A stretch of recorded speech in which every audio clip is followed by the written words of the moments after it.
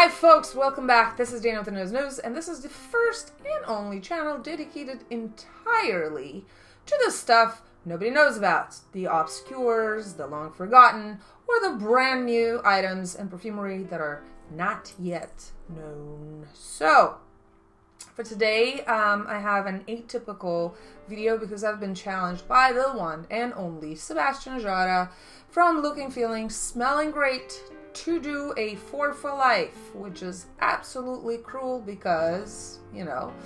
Um, so I did it my way and I, I cornered poor Sebastian to ask for permission to uh, skew the concept a little bit.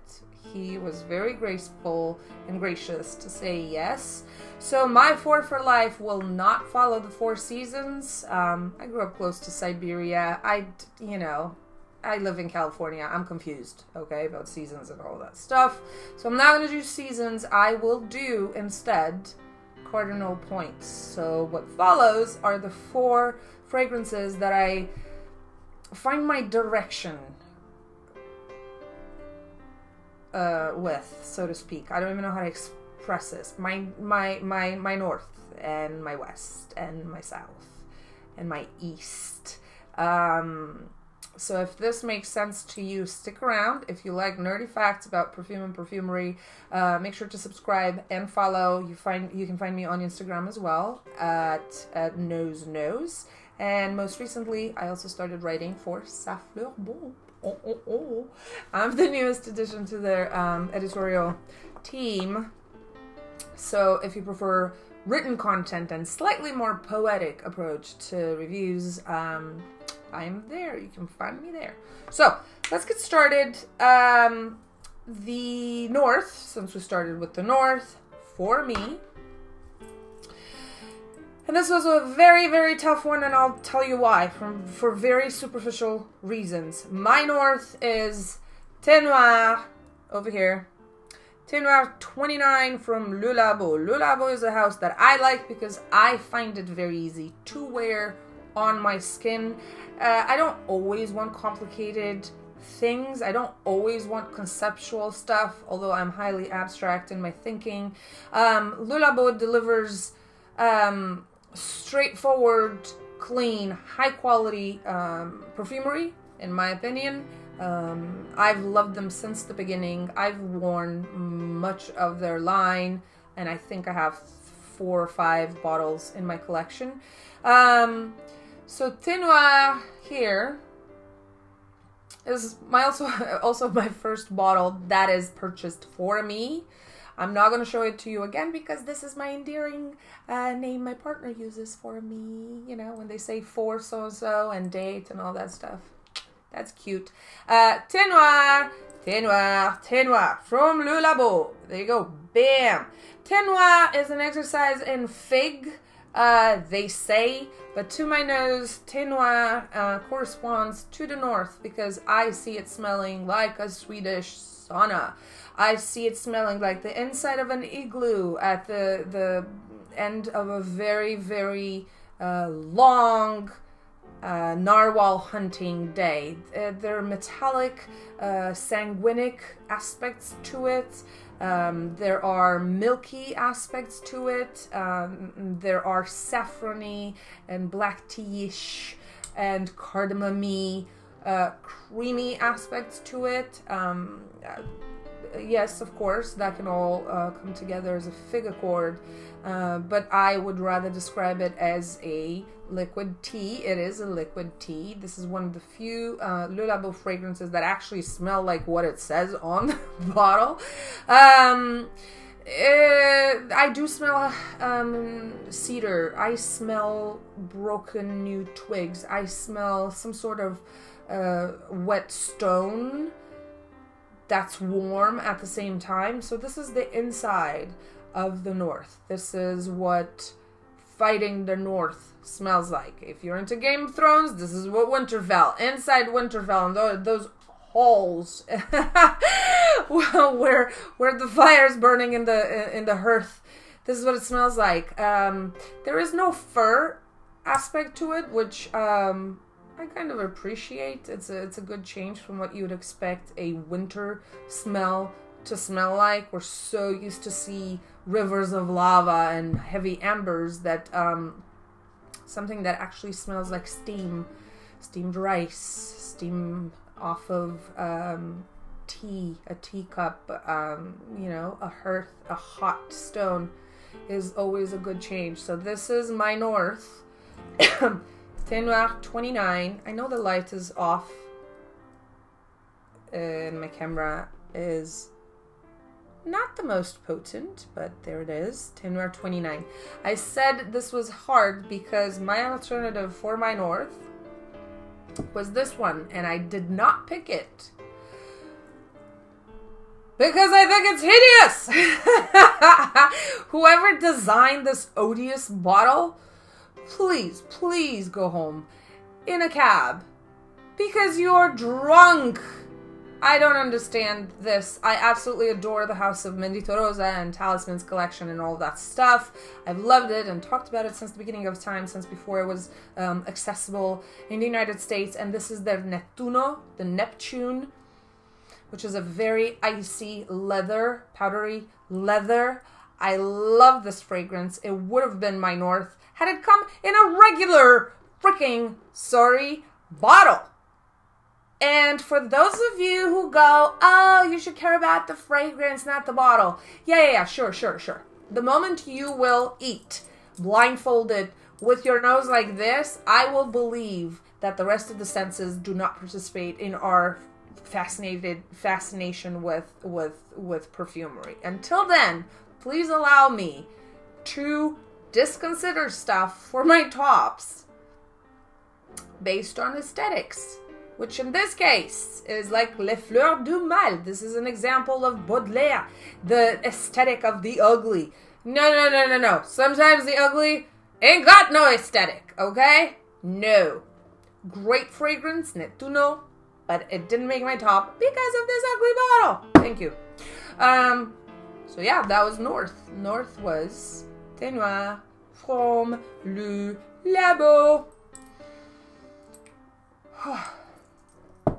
Moving on, and since I believe I go against the grain, let's go counterclockwise and speak about my west. My west in my head is associated with the Western modern school of perfumery, um, and for that, I actually picked a cheapie that, in my opinion, is one of the best fragrances ever made. Um, also, in my opinion, although it's called femme, women, um, is also entirely, entirely unisex.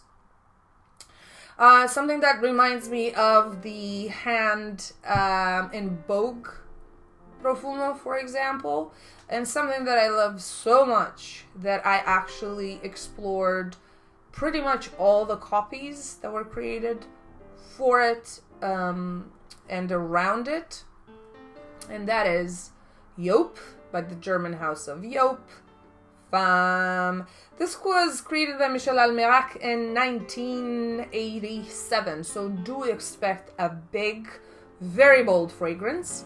Like I said, it reminds me of bold perfu- uh, perfumery and styling.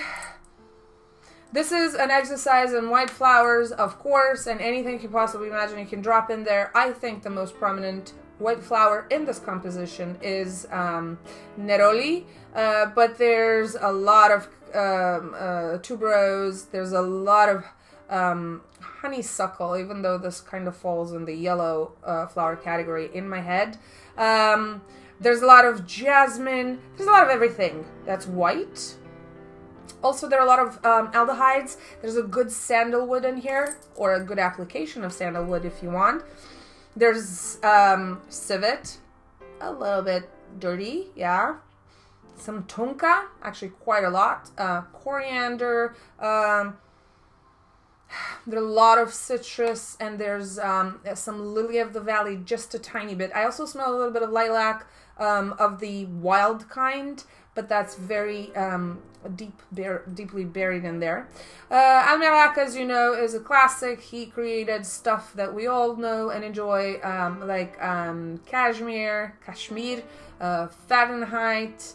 Uh, I don't know why I'm doing all these accents. I'm sorry. Fahrenheit from Dior, um, Venezia from Laura uh, Biagiotti, um, classics. Stuff that um, became cult uh, perfumery. Um, uh, more recently, I think he does stuff for Zadig and Voltaire, uh, but he created a lot of the big, bold perfumes that um, had hordes of followers. This is the, the type of perfumery that uh, can easily make signature for pretty much anyone.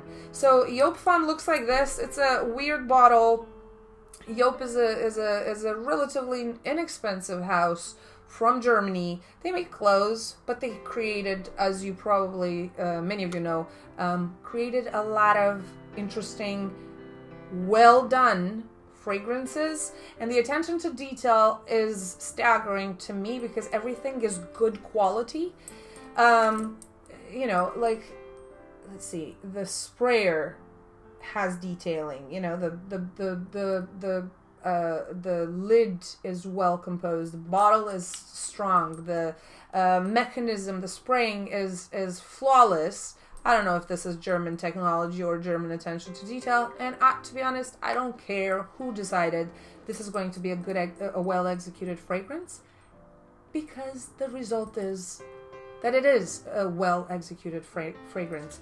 It's um, diva-ish, uh, but it can be very easily worn on um, male skin because it is strong enough and deep enough and animalic enough to be rounded. Just like I said, it reminds me of um, some items from from Vogue.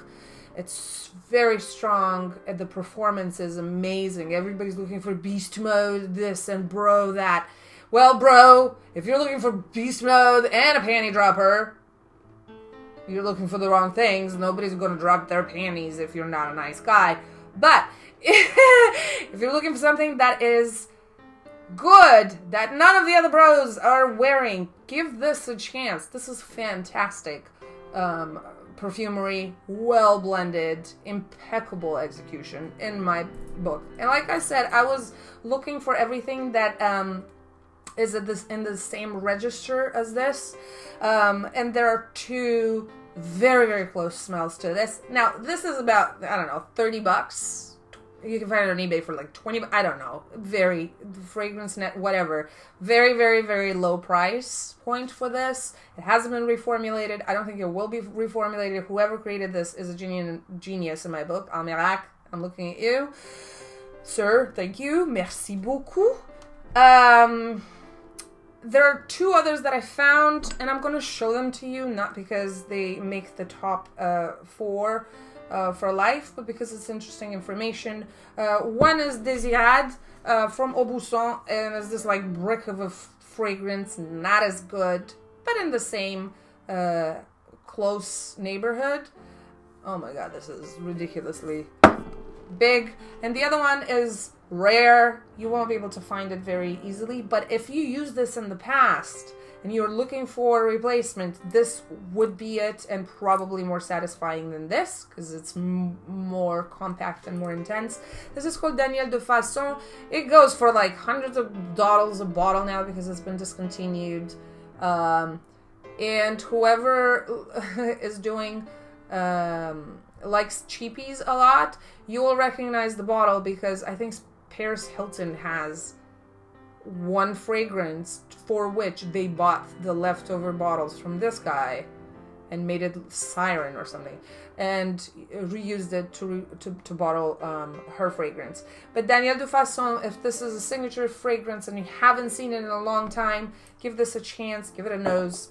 Can't say enough about it. Joop Femme. Completely unisex. All right so this is my west because it does represent the best um, and the clearest and the most original parts of modern Western uh, perfumery. Moving on, And if you are watching Game of Thrones, this would be my Dornish liquor. Okay, this is my South. Okay, I don't know if you're ready for this. Uh, some of you may know this fragrance is not completely unknown. Uh, this is accessible as well. I think I saw a bottle of 75 for like 30 something dollars on Germany Bay, maybe. But I think when I purchased it, um, I got it directly from them and I paid about 70 something dollars, maybe 80 something with shipping to the States. And that is myself, if you know what I mean. Theo Fennell! Oh, I love this bottle. I don't understand this rim here. It feels like a belt that's too tight for a body that's supposed to be round. but I love this, you know, this this feeling of a of a baseball or whatever. It's uh, it's a fragrance. Um, this smells like thighs. Okay. Um, it's um they call it an Oriental chypre. I don't even know what to say. Um, it's very heavy on cumin. It smells like body odor. It does smell like the the body after sex. It smells like juices, mixed juices. It has a little bit of unripe banana smell, if you know what I mean. It does have a, a, a sub note of sweat, of skin that's been lived in, slightly humid, um, slightly juicy, slightly uh, dripping, fresh sex, if if that makes any sense. I am not one to call a fragrance this or that. I believe that I wear the fragrance and the fragrance doesn't wear me. Uh, people will know me as Dana, not as the lady who wears so and so ever. And if that's the case, probably I failed as a person, to be honest. Because I wear clothes, I wear makeup, I wear fragrance, not the other way around. The clothes don't wear me. The cover doesn't make the book, correct? So, so guess I guess I'm talking about myself, the way I feel when I wear this, or the moments I want crave to wear this, are the moments when I feel sexy, when I want to project exactly what's on the inside. I don't know. Um, but let's talk about the ingredients a little bit. Um, there's a lot of uh, cumin, like I said, but a lot of saffron and cardamom. I, this is, I guess, a combination that I keep seeking in my endeavors, and I like the different kinds of applications um, of it. Um, there's a lot of uh, patchouli. There are a lot of tonka. There's uh, there's a lot of tonka. There's um, uh, frankincense, there's sandalwood, orange blossom again, again, some violets because it does have powdery aspects. It's not necessarily sweet, but I uh, detect a lot of spicy flowers as well. When I say spicy flowers, I mean rose, geranium, sometimes hyacinth, uh, um, carnation, they can read spicy to my nose. In any case, this is a very round, golden body fragrance. Performance is great for this as well. It's very sex- sexy, it's very voluptuous, it's very unctuous, it's very um, alive fragrance and that's why I picked it for my south. This is south, down there. And this is Dorne, the land of free drinking and free love and sun and people and, you know, fornications. I don't know. I'm, I'm, drooling, which means there's probably a little bit of jasmine in this as well because hediones uh, as you know, can have an impact on our bodily functions. They're aphrodisiacs. So I guess this works for myself. Theo, Theo, I can't say it properly in English. Fennell, uh, an English house with a very, very affordable and accessible line of extremely personal body, human body, sexy juices. So that was my south. And now my last. Um, I am very proud, although pride is not a good way to describe this.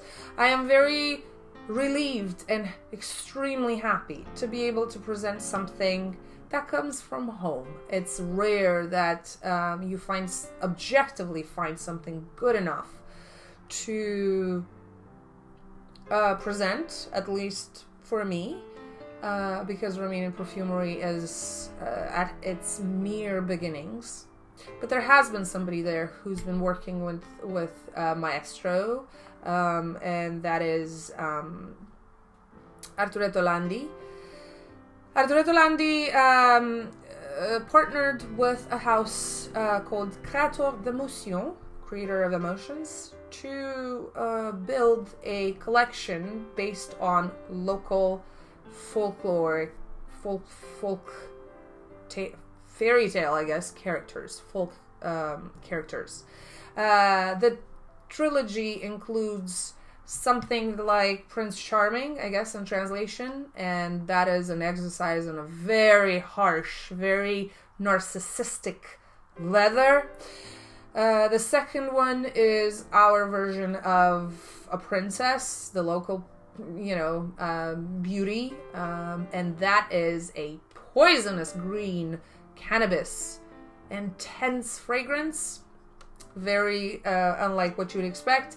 And the third one is our local version of an ogre. And to me, uh, this is my east. This is the balmy countryside rural, uh, ancient wisdom, if you want. Um, again, very unexpected, and this is Parfum, Parfum des Meaux, perfume of an ogre, or perf- ogre perfume. It, the bottle looks like this. Bas means fairy tale, so this is a fairy tale collection. Uh, like I said, this was created by Arturetto Landi, and it's a very, very, very complex um, fragrance. Uh, for those of you who um, are not familiar with the perfumer, he um, um worked with Profumi del, del Forte, with Biel, um, Roma, Profumi del Marmo, and the Rundholz. His creations are very complicated for a very simple effect. Uh, this includes tons of, of natural ingredients. This is natural uh, perfumery at its best. Look the color. Ugh, I love it. Just like this one. I have something for orange or intense color fragrances. That's why Slumber House was like an instant um, love for me. I just dropped this on my computer. Ah, excuse me. Uh, like I said, this this includes a lot of ingredients, and based on the time of day, temperature, even mood, it changes. I guess like an ogre would. Anybody watch Shrek? Uh, but the overall feeling for me, like I said, inspired a, a vision of you know Russian steppes, um, the taiga. Mm thousands of miles of Siberian forest, okay? Um, beginning of blizzards without it being cold. Um, maybe the end of a summer day um, on enormous, no end fields covered in bitter grasses, if you want.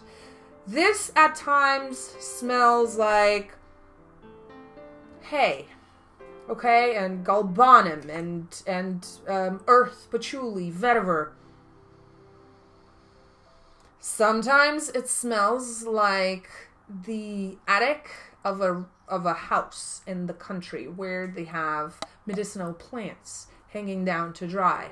Um, sage, clary sage, galbanum, thyme, uh, myrtle, chamomile, wild chamomile, actually, a lot of that.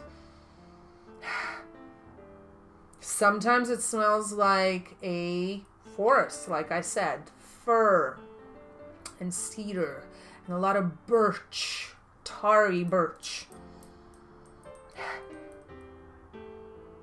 Sometimes it smells like a very tiny village Orthodox church, frankincense and myrrh and elemi and um,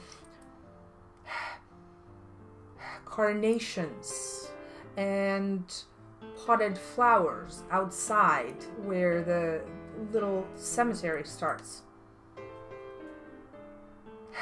I wouldn't I wouldn't be surprised if there's some animalics in here. I smell fur. Um, mm, I, th- I think it's Costus, but I don't know anybody who uses Costus anymore, so I'm not certain what the formula includes. But this is my east. This is where the sun rises. This is where I wake up to pray. If I would pray, I would pray in this direction.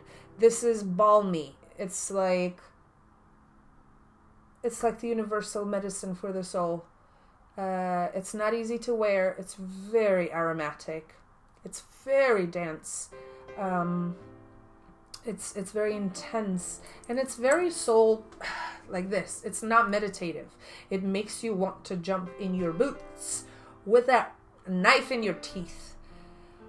This is this is like the the herbaceous concoctions that grandmothers used to do suction cups on you when you were a kid. It's not this is the bitter medicine you drink before you go to war. And I know all this is very plastic, and I know all of this is a little bit confusing. My descriptions are not usually usually this this graphic, but you know, four for life and cardinal points uh, is not necessarily a, a, a very practical um, and down to earth approach to perfumery. This is highly conceptual. Um, in in in approach this is this is uh, this is an abstract way of thinking of my collection uh, direction directionality and access and and uh, uh um, finding my way uh, and my four ways of being um, is, uh, is an exercise in um, looking at this whole art as not necessarily something that um, uh, defines but complements oneself with um, with illusions of universality if you want. I'm getting a little bit a little bit too abstract. But uh, these are the four for life that I picked for myself. Um, these are the four for life. Uh, my north is Thé Noir 29. My west is Joop Femme, a very inexpensive, um, heavily underrated fragrance. My south makes me jiggle is Theo Fennell. Uh, and my east is the Ogre fragrance, Parfum des Meaux from Créateur d'Émotion. Um, I will leave all of the links below, uh, or the most representative links directly to the houses below. I don't have any affiliations with any of them. They're just um, creations I admire.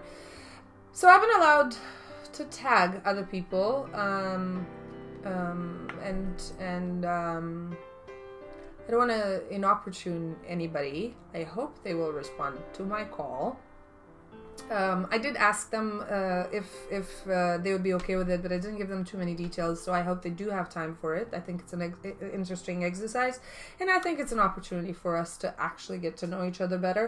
Um, one is the Sentinel Pep Sir, um, and this is because I like the way you work, uh, because I trust your taste, and because you were the very first reviewer to acknowledge my presence on the internets. uh, so um, you will always uh, be on my short list of of, uh, of people to follow and to appreciate. The second is Diana from Tommelise. Um, our tastes are not necessarily very similar, but I think she, at this point, is one of the hardest working people um, in the reviewers um, community, and um, I want to acknowledge her efforts um, um, and to assure her of my support if ever I have something I could assist with, I would do it. So these are my two choices. These are my two callouts. Uh, I'm curious to see what they come up with. Or for life, this was my cardinal point. Thanks. Um, as responded, or as in response, my English is getting a little bit numb right now. In response to Sebastian, the one and the only. okay, folks, if you like this kind of reviews or any kind of reviews coming out of this mouth with this kind of brain and these kinds of associations, please stick around. Make sure to follow, make sure to share, um, subscribe to this channel, and I will see you next time.